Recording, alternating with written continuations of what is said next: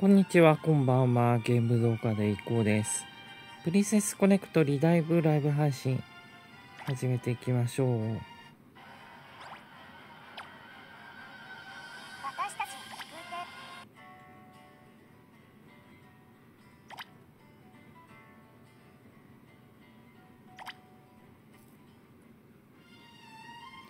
え今回メインストーリーです。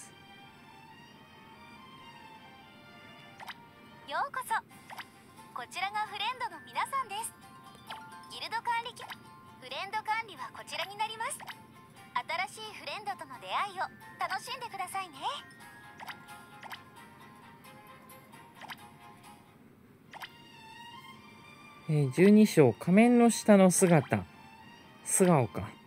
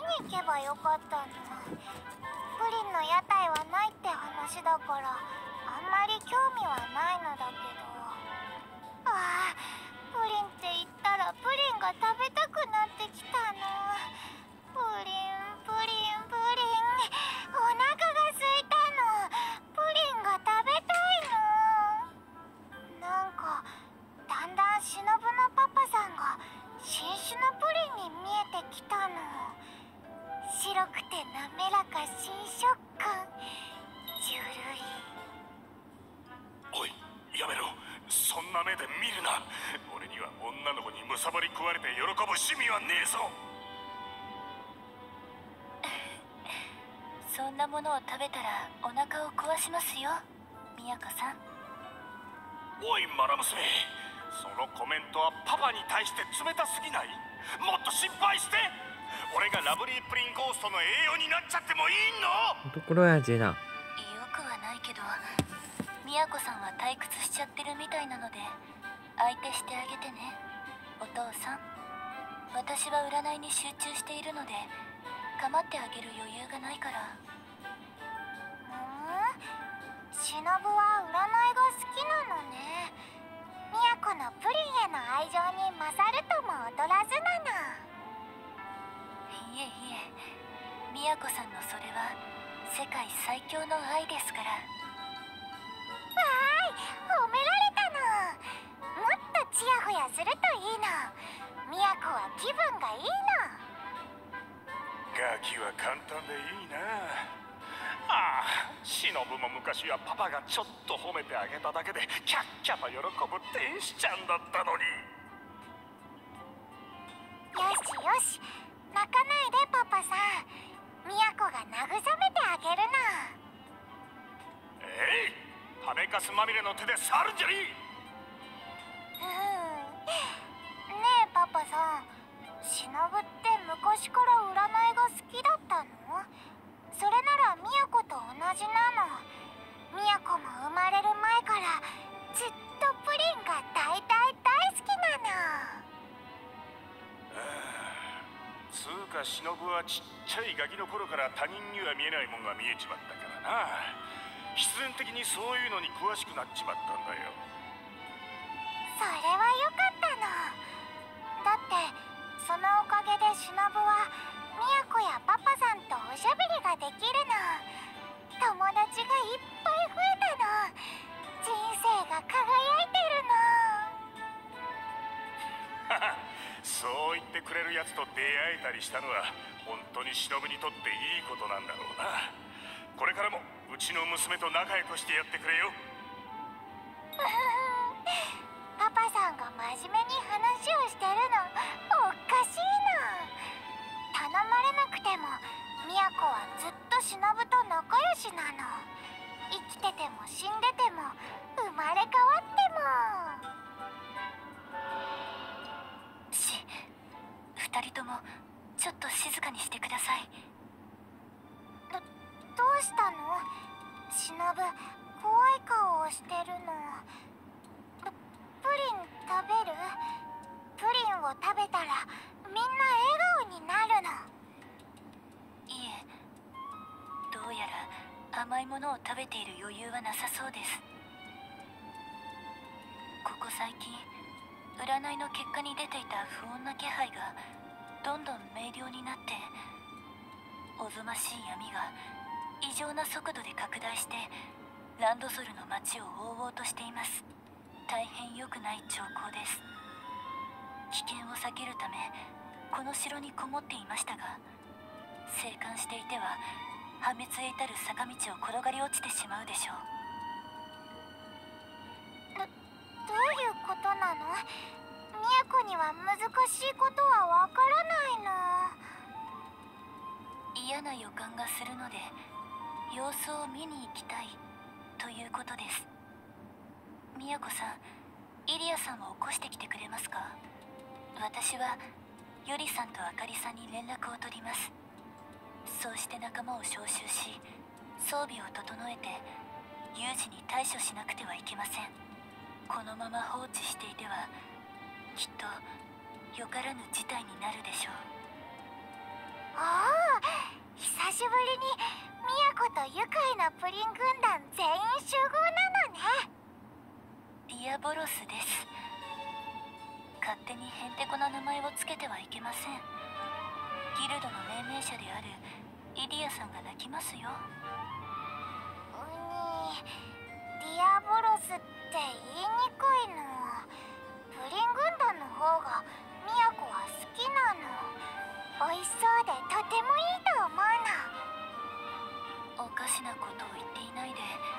急ぎましょう宮子さん。おかしなこと？プリンだけに。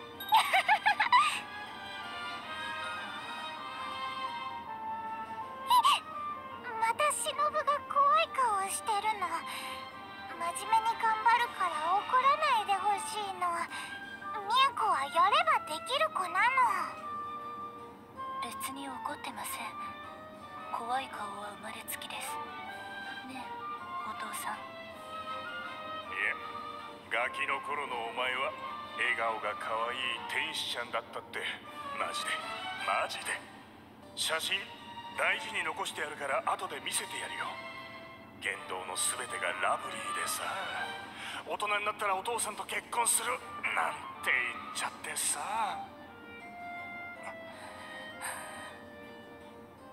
おっと。うちの天使ちゃんが悪魔も逃げ出す怖い顔になっちまう前に本気で急いで動き始めるか。気配を感じるぜ。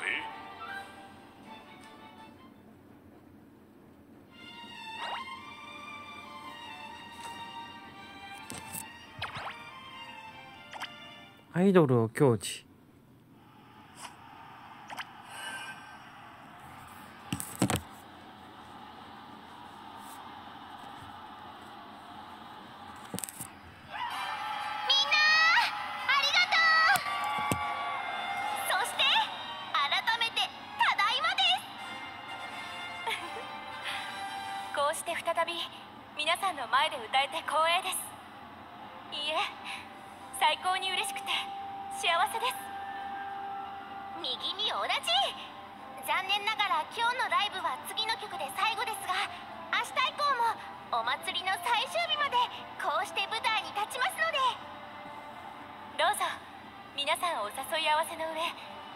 運んでみてください。できれば拍手と笑顔と応援もよろしくね。私たちカルミナはいつでもこの光り輝くステージでみんなを待ってるよ。それじゃあ本日最後の曲いってみよう。チカ紬準備は OK? 今日までずっと長旅をしてきたしね。疲れ切っちゃってるんじゃない？いいえむしろどんどん元気になっています。今すぐもう一度。いいえ何度だって大陸を一巡りできちゃうぐらいですよ。はい。次から次へと市場が溢れて止まりません。精霊たちも喜んでいます。望みの口癖の意味が実感できました。何もかもキラキラしています。チカさんそれは嬉し涙？目が潤んでるから何もかも輝いて見えるんでしょ？泣いてる場合じゃないからねチカ。最後までアイドルらしく私たちらしく。最高のライブをお届けするよ。今日も明日も未来もずっと。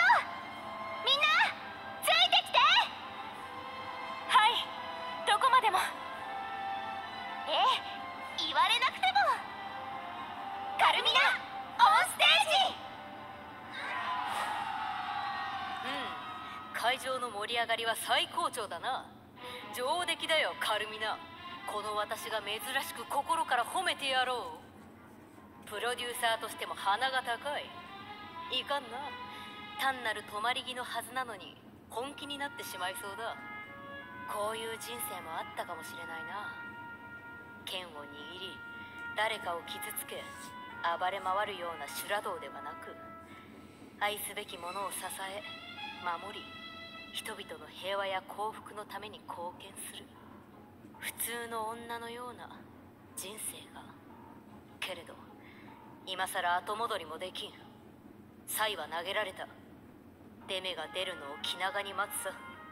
王宮に突入した連中や陽動作戦をしているノエムの方は順調だろうか。こっちは準備万端だぞ。さっさと全部済ませて集合場所に来い。カルミナの今回のツアーに用いた飛空艇はいつでも発進できる。全員無事に合流できたら即座に乗船して出発。私の祖国に一時的に退避する。作戦の結果にもよるがいずれほとぼりが冷めたらこっそり帰国する。とそういうプランだったな。この私がそんな退屈な事後処理を請け負うなんて世も末だね。けれど敵は陛下ユースティアナだ。その配下であるナイトメアの連中とは同じ釜の飯を食った仲ではあるし私は戦いにくい。いないざ連中と向き合った時にもしも戦えなかったら作戦に悪影響が出るし私はそんな軟弱な己自身に幻滅してしまう。そう思って作戦の中心から外れた部分を担当している。違うな。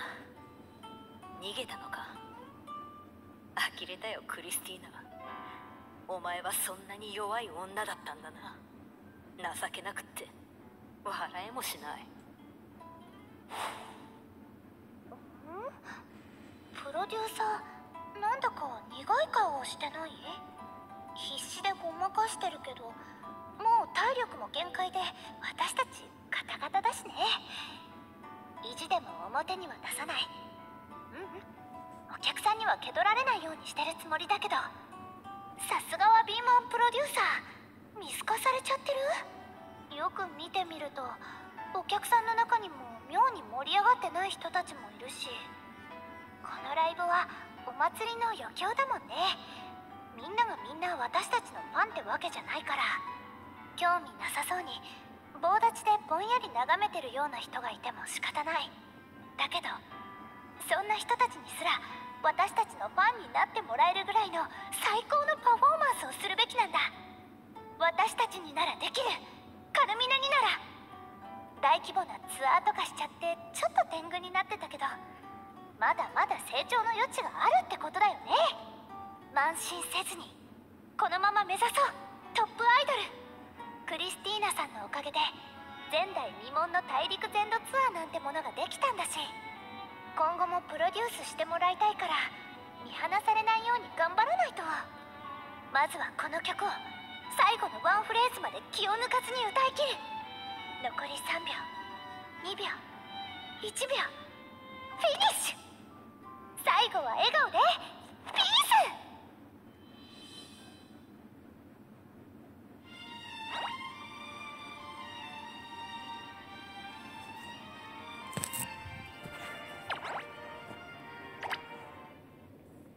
ツアーを抱っこ流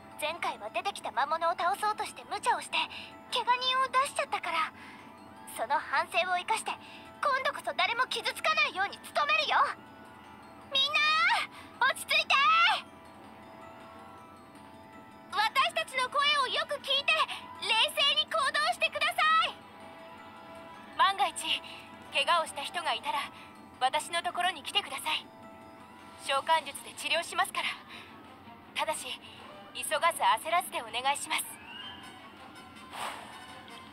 あっぱれいい対応だな。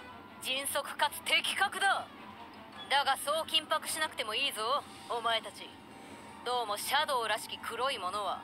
全く暴れたりはしていない。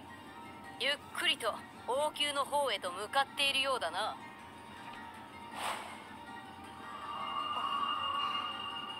確かにステージの上から見ると分かりやすいです。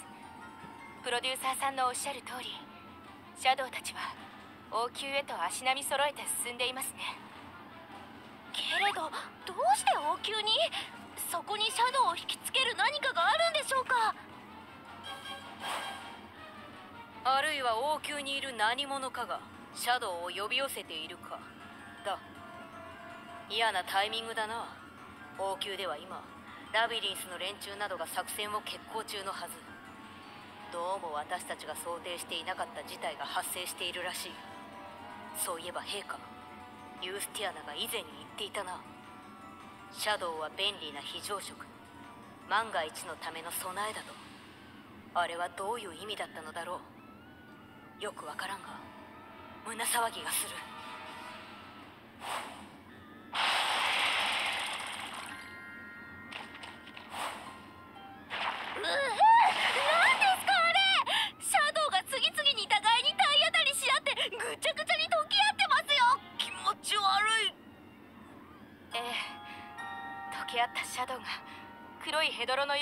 流れていく。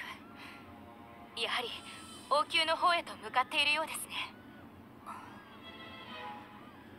今耳を澄ませてみましたがどうも町のあちこちで同じような異常事態が発生中のようです。そこかしこでシャドウが出たなどという声がします。精霊たちも怯えています。一体何なのでしょう？不気味ですね。わかんないけど最後の曲まで歌い切ったしアイドルとしての仕事は一段落。ここから先はどこにでもいる人間として最善を尽くすよ。そうすればきっと何があってもなんとかなる。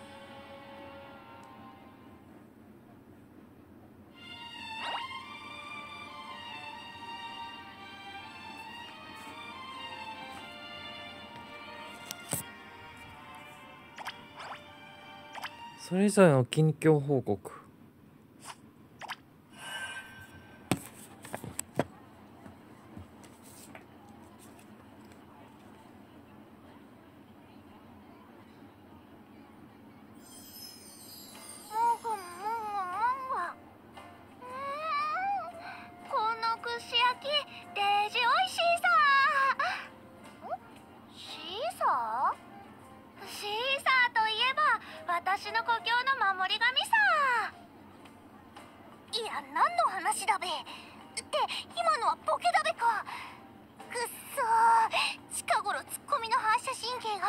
目に見えて落ちてきているべや。せっかくのお祭りなのにイベントとして開催されてたお笑いコンテストでも予選敗退するし。ジュージュー焼ける鉄板はこんなに熱いのにオラの心は冷えていくべ。くーやけくそだべ。持ってけ泥棒。どんどん食べてほしいべや。え泥棒？どこどこ？退治するさ。お祭り会場の警備はカオンの私の仕事さ。いやいや単なる言い回しで。ってまたボケに対して普通のコメントをしちまったべ。ん？そこの人今顔を伏せたさ怪しい。さてはお前が泥棒さ。どどどど泥棒？何の話かわからないにゃ私は単なる真面目にやってるたい焼き屋さんにゃお客さんもよかったら食べていくにゃどうぞどうぞ。あ屋台の人？疑って悪かったさちょっと近頃街の治安が悪いから私たちもピリピリしてるさごめんねお詫びにたい焼きたくさん買うさ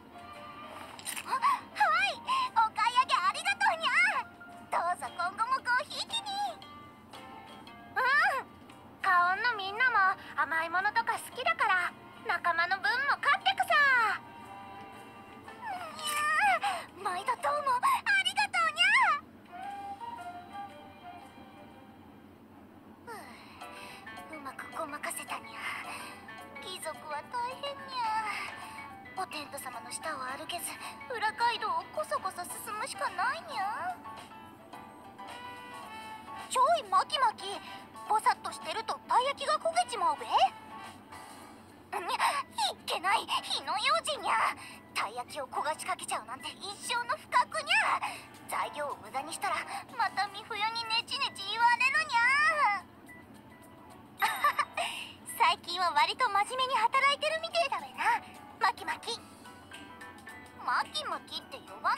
しいにゃまあ他に選択肢がないから仕方ないけどにゃ。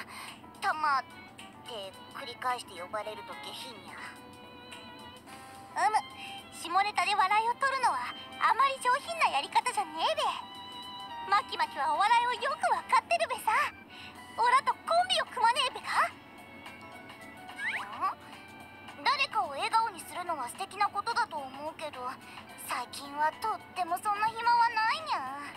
私昼も夜も大忙しだからにゃ。よくわかんないけど喋ってないで手を動かすさ。お客さんが行列を作っちゃいそうさ。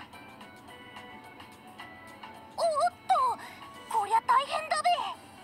うわー今年は予想以上の客入りだべ。屋台飯が飛ぶように売れてくべや。エリザベスパークの復興資金になるからありがたい話だけんど。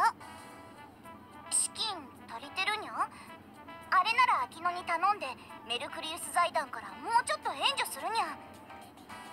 いやもう十分以上に助けてもらったべ。おかげさんでだいぶ元通りになったから当面は大丈夫だべな。もちろんまた困ったら頼らせてもらいてえけども。いつでも大歓迎にゃ。メルクリウス財団は困ってる人とお金の味方にゃ。ねえねえそこの牛の人は牧場の人さ？牧場にはカオンの仲間が出向してるんだけどみんな元気にやってる？シオリーは筆豆だけどリンはそういうのサボるからいまいち状況がわからないさ。こないだ大事故があったし仲間はみんな安否を気にしてるさ。ああんたカオンの人だべか。シオシオもリンリンもおかげさんで無事だったべよ最近は仲良く復興作業や牧場の仕事を手伝ってくれてるべ。たださすがに心身ともにくたびれててな。シオシオが体調を崩したんで他のみんなは牧場に残って看病してるべ。お祭り参加できなくて残念そうにしてたべや。そりゃかわいそうさ。お大事に。どうも警備の人手が足りないからお祭りに来てるなら手伝ってほしいぐらいだったけど。すごい人混みだしにゃうちは手広くやってて商売繁盛で万々歳だけどにゃ会計処理だけで恐ろしい量になって美冬が大喜びしてたにゃ。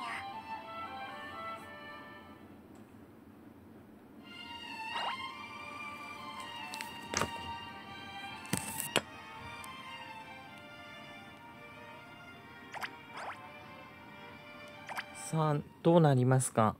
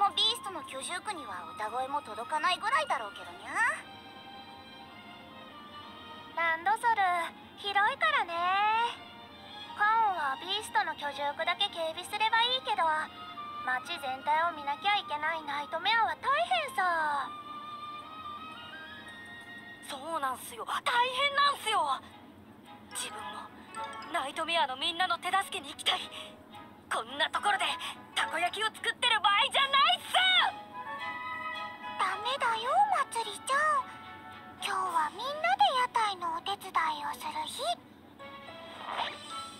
話してミミちゃんヒーローにはどうしても駆けつけなきゃいけない戦場があるっす。そして自分もまだまだ下っ端だけどそんなヒーローの一員っす。まつりちゃんそういうの好きだね。たまにはミミと一緒に。おままごととかお人形さん遊びとかしない？うー自分はそういう女の子の遊びはあんまり好きじゃないっす。かわいいさ。ちっちゃい子たちみんなで屋台のお手伝いをしてるさ。あこんにちは。カオンのお姉さんカオンは敵っすん？なんで睨むさ笑った方が可愛いさ。ねえラブピースさにゃふふほとんどのビーストは屋台の手伝いとかゴミ拾いとかのボランティアに駆り出されてるにゃ。なんか動物園が運営してる町内会がそう決めたらしいにゃ。ああ聞いてるさ。こないだドンパチしたせいで普通の人間との仲が険悪になってるからお互いにボランティアとかして協力的な姿勢を見せて仲直りするさ。ちっちゃい子たちにまで手伝わせるのはちょっと申し訳ないけどにゃ。普通にお祭りを楽しみたかったにゃミミちゃん。うん。でも今日だけお手伝いすればいいからね。明日からは京香ちゃんやみそぎちゃんとねお祭りを一緒に巡ろうねってお約束をしてるの。まつりちゃんもよかったら一緒に行かない？ミミのお友達に紹介するね。おお嬉しいけど自分は警備をするっす。悪い奴らから街を守るっす。悪いやつらなんていないよみんな優しくていい人だからね。まあお祭りってトラブルが起きやすいし普通に気をつけるさ。私たちカオンがあちこちで警備してるから何か気づいたことがあったら言ってね。うん。お仕事お疲れ様です。お姉さん。ほらまつりちゃんもお辞儀しようう正義の味方は簡単に敵に頭を下げないっす。敵じゃないさ。人類みんな家族さ。おっともだち。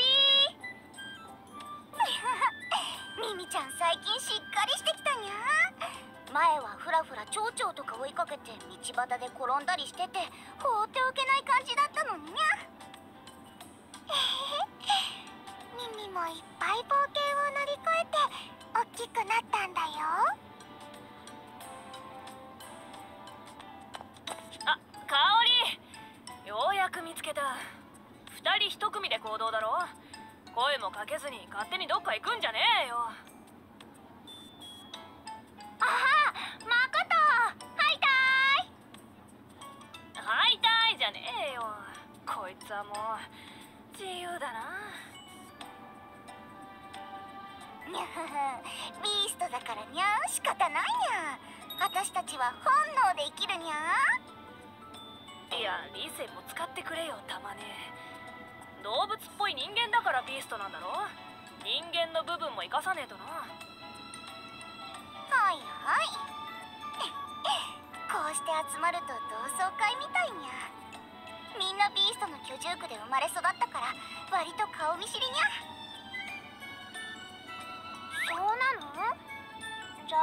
私だけ仲間外れそう私は故郷から旅行してこっちに来たからあんまり昔からの知り合いがいないさ。これから知り合っていけばいいだろう香り実際お前誰にでも気さくに接するしさ。すでに私よりも友達が多いぐらいじゃねえの？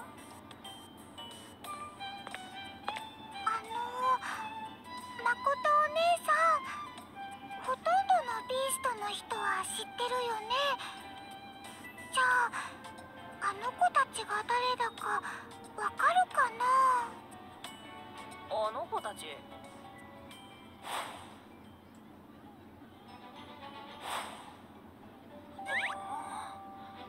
どこの家の子だ？ありゃ見ない顔だな。あれ？あんなところに屋台が出てたべか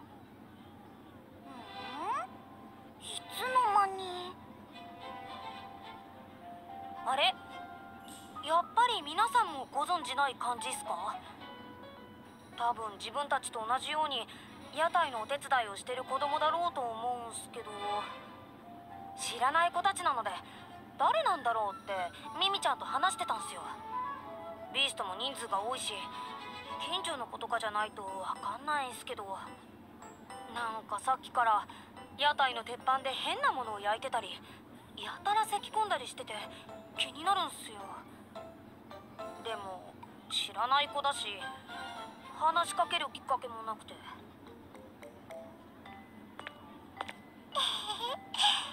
意外と人見知りするよねまつりちゃん。ミミちゃんが気にしなさすぎなんすよ。その辺を歩いてるおじさんとかにも普通に話しかけるっすよね。気をつけなきゃダメっすよ。心配っす。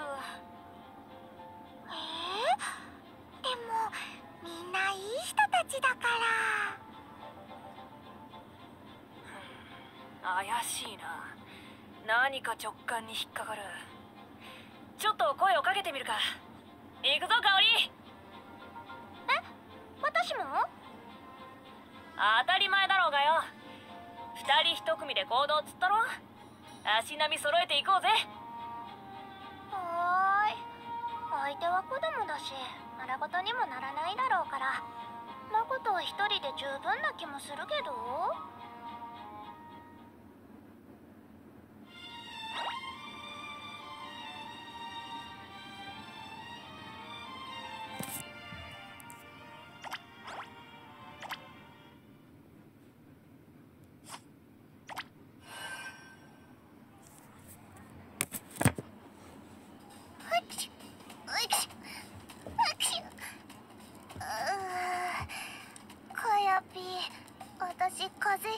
かもです。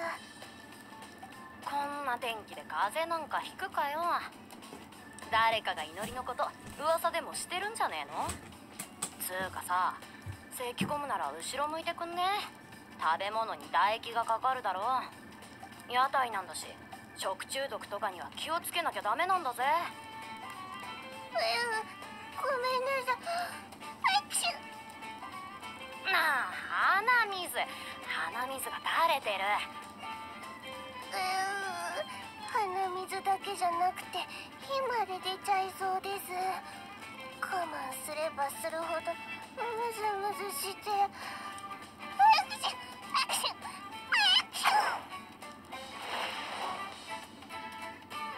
ならら祈りの日でまた屋台飯が黒焦げになっちまった。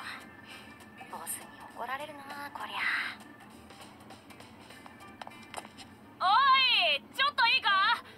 なんだよ今の爆発。はいたーい俺は「こんにちは」って意味さ君たちどこのギルドの子？少しお話を聞かせてもらってもいいね。あし知らない人？怖いです。かかやぴー分かってるよ。祈りは俺の後ろに隠れてな。話なら俺が。君らのことどっかで見たことあるぞ。確かビーストの居住区を警備とかしてる。なんだっけ。カオンだ。別に悪さをしなきゃお仕置きもしねえからさ。そんなに怖がるなよ。町の平和を守るあたしらがみんなに不安を与えちゃ本末転倒だしな。お？お前らその尻尾とちっこい羽。もしかしてドラゴン族か？あバレた。正体バレちゃいましたですよかやぴどうするです？いや別に正体なんて隠してないだろう。お察しの通り俺らはドラゴン族だよ。それが何か？ねねえねえ話の腰を折って申し訳ないけどいろいろ説明してほしいさ。ドラゴン族って何？聞いたことない名前さ。いや私も詳しくはねえんだけどそんな連中がいるって母ちゃんに聞いたことがあるんだよな。昔から存在はささやかれてたけど実在しないと思われてた。かなり珍しいビーストの亜種なんだってさ。お前らも分類としてはビーストだから耳とか他の子と同じように屋台の手伝いをしてるってわけか？ああ俺らはとあるギャングじゃなくてギルドの下っ端をやってるんだよ。上に命じられて今日はアクセク仕事中ってわけ。うーいつまでもこんな生活したくないです。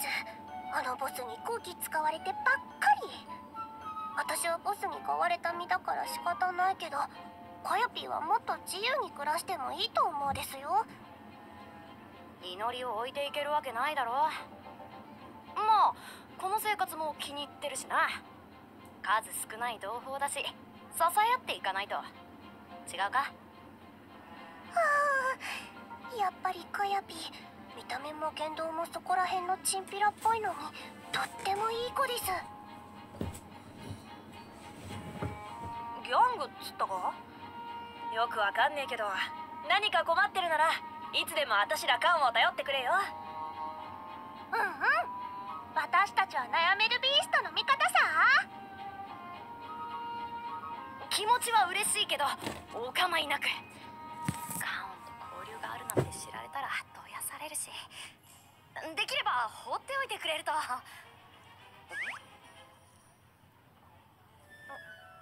どうした？みんな気をつけろ。なんかヤバいのが近づいてくる。なんだろやばいの？なんだありゃ。向こうの通りの建物が次々に倒壊してやがる。どっかのバカが祭りで浮かれて喧嘩でもしてんのか？見てまこと。誰かが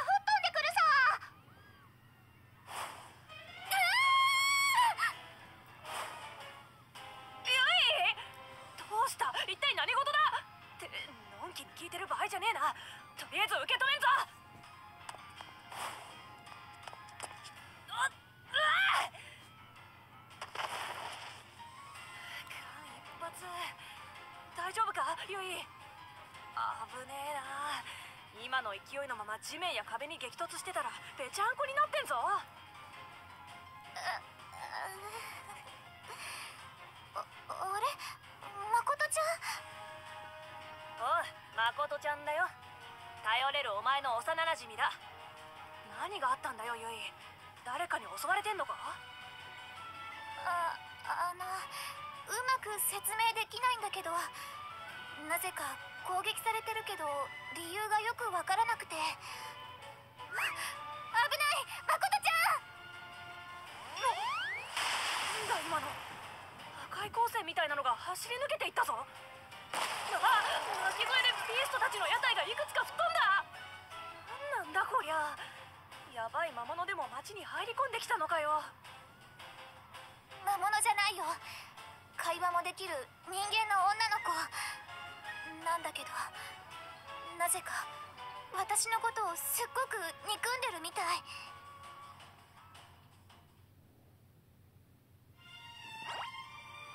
なんだ？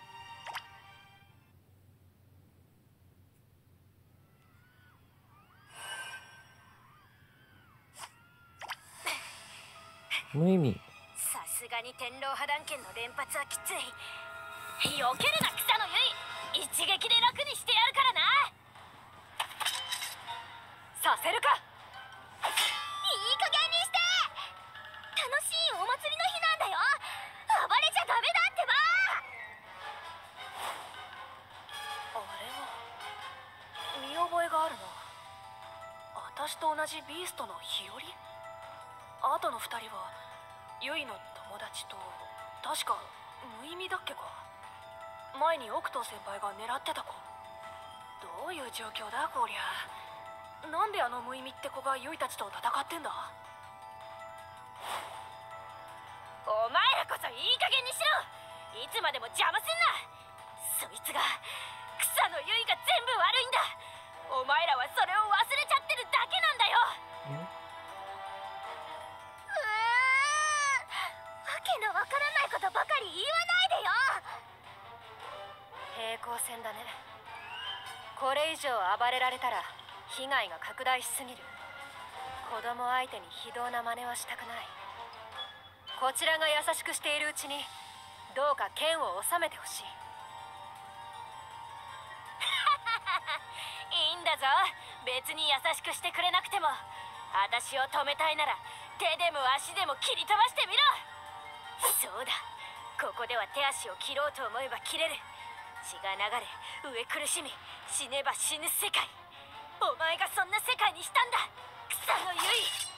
たった一人の命を救うために悪魔に魂を売って理想郷で平和に過ごしていた人々を地獄に叩き込み永遠の責め苦を味わわせている。どういうこと？あなたは私の何を知ってるの？こらさっきから暴れてるのは誰にゃ私の屋台が吹き飛んじゃったにゃまだ今日の売り上げ目標を達成してないのに！あたまね。ちょっと手伝って。その子を縄で縛り上げるなりして無力化したい。おや日和久しぶりにゃ冒険ばっかりしてないでたまには動物園の会合とか懇親会とかにも顔を出すにゃ。いやーでも今は冒険が楽しくて。っておしゃべりしてる場合じゃないから。この辺ビーストの居住区？戦いながら動き回ってたらいつの間にかこんな場所に？チャンス。この辺なら知り合いが多いしみんな手助けしてくれるはず。ビーストは情に熱いからね。乱暴な真似もそこまでだよ。えーと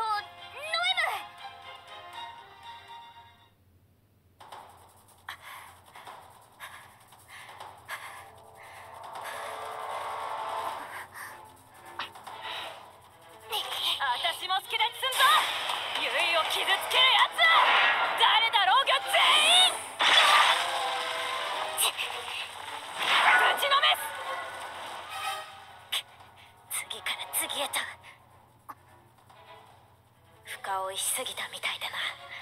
ここは一旦引くか。オクト目くらましを。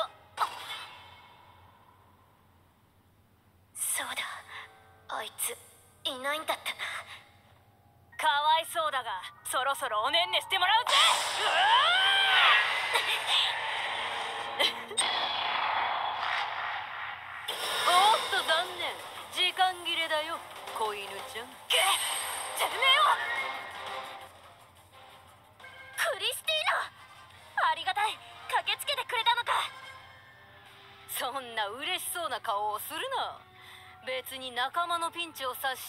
に来たわけじゃないぞ。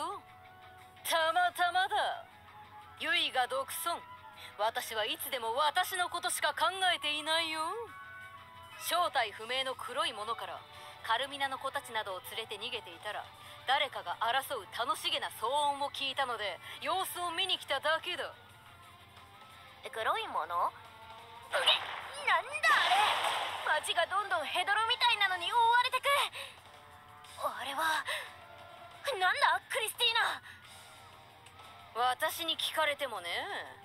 どうもシャドウが妖怪し液状になったものの集合体のようだが。よくわからん。生命体のようだがどうやら会話は成立しないらしい。よそ見してんじゃねえぞ！こないだの借りを返させてもらうぜ！そうさよくもカーンのお家を破壊してみんなを傷つけたな。泣いてる子もいたさ。私は絶対に許さないさ。ああもう鬱陶しい。遊んでやりたいのも山々だが残念ながら今はその時ではないな。抱くぞノエム。迅速にこの場から遠ざかる。えああ。よいしょ軽いなお前は。まだまだ子供かこのまま建物の屋根伝いに逃げて先に町の外に避難させたカルミナと合流する。だから逃がすわけがねえだろうが！まことよくわかんないけど黒いヘドロがものすごい勢いで流れてくるにゃ！まずはみんなを避難させるにゃ！あれが何かはわかんないけどすごく嫌な感じがするにゃ！屋台を手伝ってる子供たちとかがあれに飲み込まれたら親御さんに申し訳が立たないにゃ。確かに喧嘩してる場合じゃねえか。覚えとけよクリスティーナこの野郎。いつか絶対に落とし前をつけてやるからな。楽しみにしておこう。行くぞノエム。舌を噛まないように気をつけるがいい。乱暴に運ぶなお姫様のように扱ってなんて言わないけどさ。あ誰かと思ったらクリスティーナおばさん。今までどこで何してたんすか。ナイトメアの仲間はみんな心配してたんすよ。おやまつりちゃんお久しぶり。団長やともちゃんに伝えてほしい。クリスティーナは今日もそれなりに愉快な毎日を過ごしているとな。自分で伝えればいいっすよ。っていうかさっさと戻ってきてほしいっす。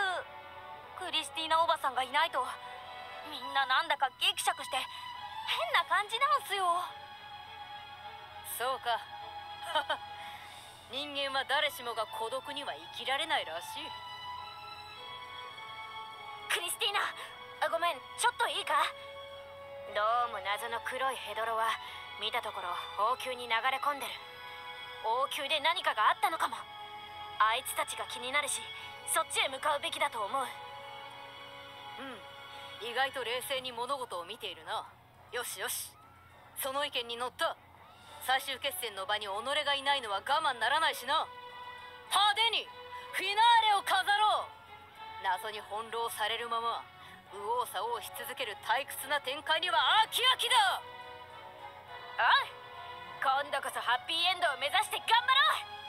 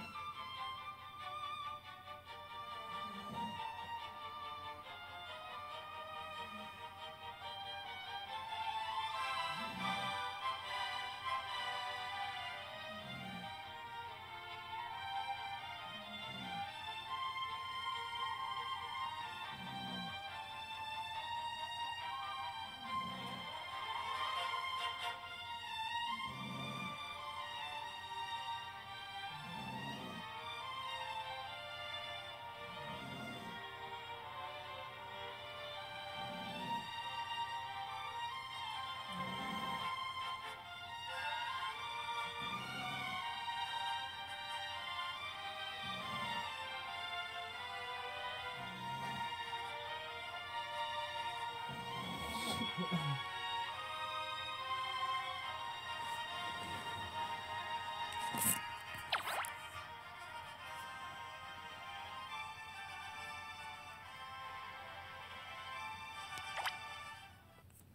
れが最後かな本日。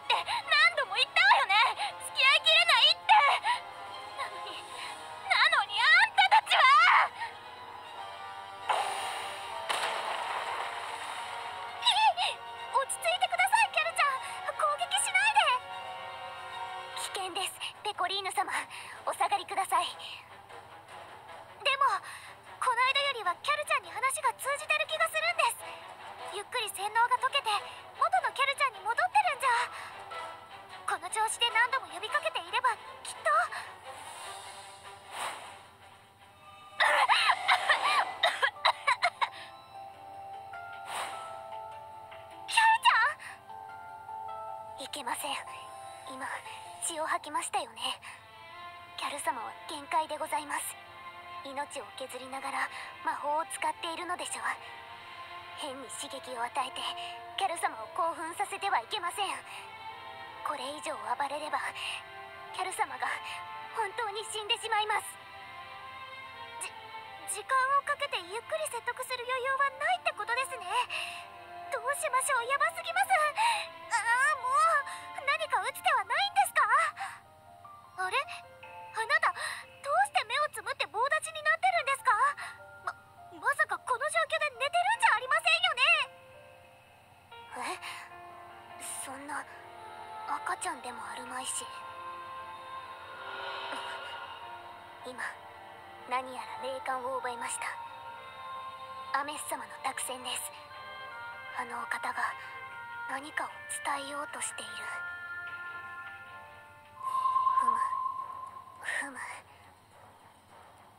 様曰く眠っている主様をキャル様のもとへ近づけようとのことです。それで全てが解決する可能性があるとどどういうことですか？よくわかんないですけどこのニッチもサッチもいかない状況をどうにかできるなら何でも大歓迎です。あなたをキャルちゃんのところに近づければいいんですね。君ペコリーヌさんだったかな。困っている女性に親切にするのは騎士の義務。よかったら私が運ぼう。じゃあ私とリノちゃんは援護しよう。キャルちゃんってこの攻撃魔法は私が何とか防ぐからリノちゃんはかく乱してあの子の注意を引きつけて。了解しましたお姉ちゃん。適材適所ってやつです。いや適材適所じゃなくて。って珍しく合ってる。えへん私も成長してるんですよ。驚きましたかお姉ちゃん。女子は3日会わなければ誰だかわかんないってやつです。え何のお話？男子3日会わずれば刮目してみよみたいに言いたいのかな？雑談はそこまで。本気でキャルさんとやらは限界だ。こうしている今この瞬間にも全身が崩壊して死にかねない。迅速かつ的確に行動しよう。頼もしい。皆様万事うまくいったら一生をかけてご恩を返します。いいんですよ。海苔が入ったふりかけってやつです。乗りかかった船ねりなちゃん。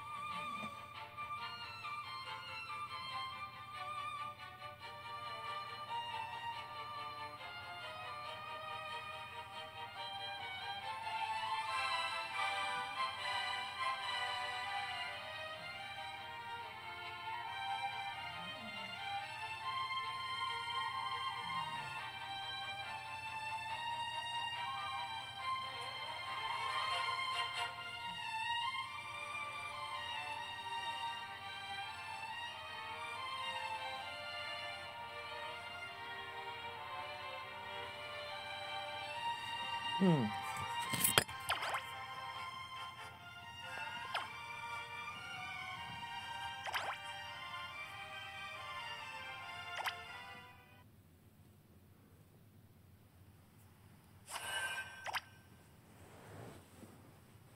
きから何をごちゃごちゃと。何を企んでるか知らないけど。無駄よ無駄。どれだけ祈っても努力しても。世界はちっとも変わらないじゃない。諦めて屈服して帰ってよ。どうせ誰にも私は助けられない。そんな価値ない。意味ない。わけわかんない。あんたたちを見てるとイライラするのよ。みんな死んでこの世から消え去ればいい。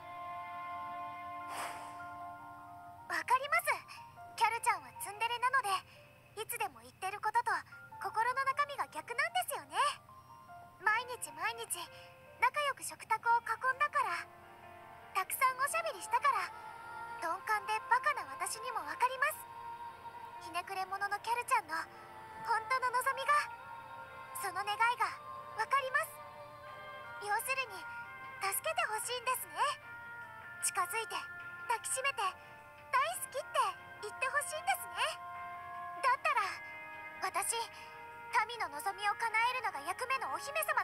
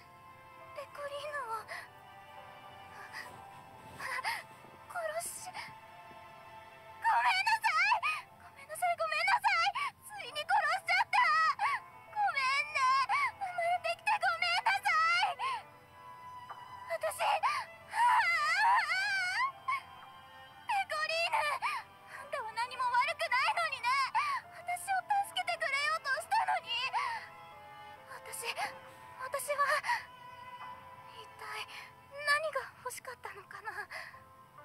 陛下の言うことを聞いてご機嫌をとって褒めてもらいたかった。それはあんたたちと囲んだ幸せな食卓よりも価値があったのかな。私一体何を願ってたのかな。残念。ううん。大丈夫ですよキャルちゃん。今キャルちゃんが吹っ飛ばしたのは私の偽物です。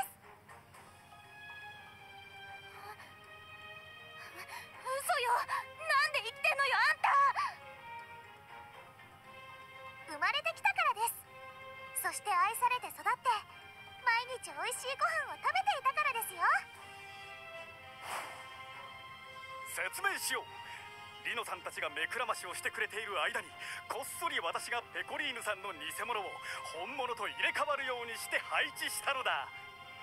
私たちが研究過程で作っていた人工の魔物をこっそり解き放ちネレカ様の飛躍によってペコリーヌさんそっくりに擬態させた。ちなみにその作戦はお姉ちゃんが立案して私がやぶみでこっそりみんなに伝えました。見事な連携プレイ。やばいですね。私の決め台詞がパクられた。とにかくキャルちゃんが偽物に気を取られてるうちに私たちはこっそり近づいていたというわけです。キャルちゃん。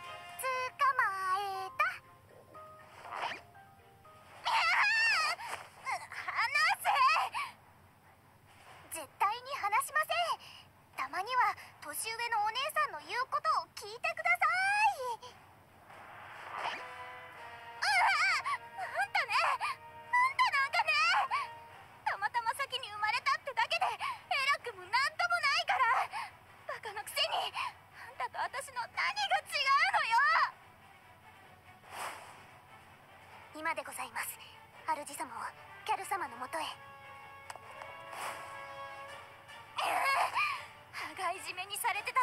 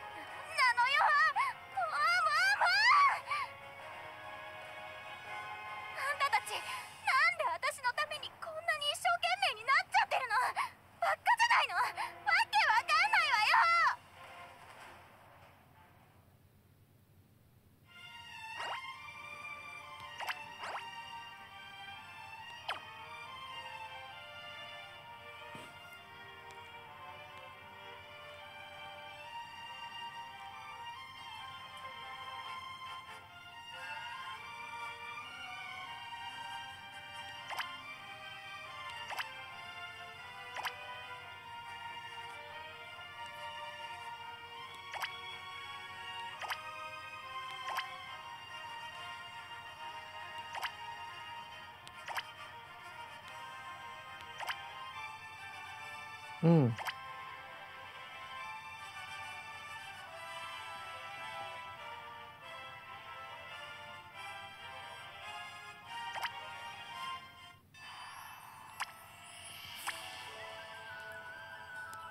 はい、ということで、ここまでとなります。ミニストーリー12章、仮面の下の姿、素顔ですね。前編お送りいたしました。ご視聴いただきありがとうございました。ゲーム動画でいこうでした。